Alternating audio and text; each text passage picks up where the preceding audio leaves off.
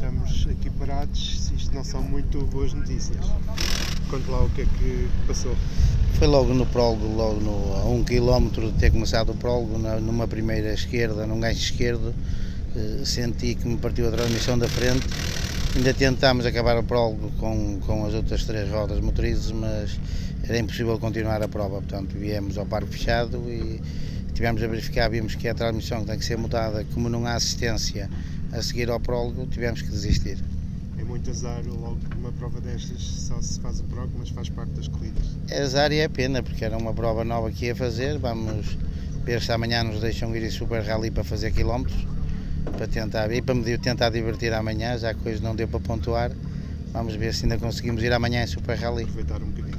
Ok, tem que ser. sorte para a próxima. Ah, obrigado. obrigado.